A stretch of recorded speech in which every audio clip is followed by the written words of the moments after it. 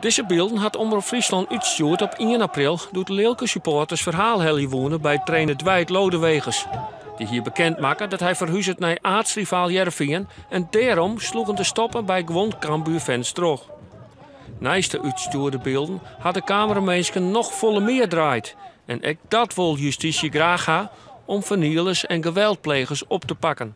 Kijk, het gaat om een heel naar incident. En wat wij proberen vanuit OM samen met de politie is om dat gewoon op te lossen en maximaal zicht te krijgen op mensen die daarbij betrokken zijn geweest. Nou, vanuit dat perspectief dan is er dus de vordering gedaan richting de omroep. Wij willen heel graag dat ruwe beeldmateriaal, zodat wij misschien meer mensen kunnen identificeren en aanspreken op hun gedrag.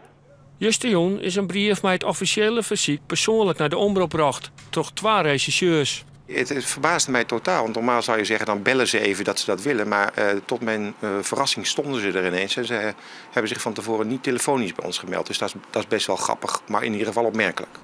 De haatredacteur had besloten het beeldmateriaal net aan te stingen aan justitie.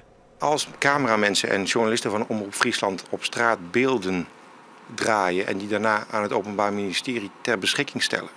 dan kunnen mijn cameramensen en mijn journalisten niet meer veilig over straat. Want dan kan het altijd zo zijn dat het Openbaar Ministerie die beelden gaat gebruiken bij opsporingsonderzoek. Um, wij zijn geen verlengstuk van justitie, dus daar kunnen we gewoon niet aan meewerken. Ook al uh, uh, voor de veiligheid van, van mijn eigen mensen kan dat gewoon niet. Justitie begrijpt het standpunt van de omroep, maar vindt het spietig, omdat nou een tal railskoppers letterlijk boeten beeld bloot. Die hopen justitie nou via tips en het jaren van tjoegen op te pakken. Intussen had justitie al een tal vertochten op het eeg. Hoe volle, dat was ze net zissen.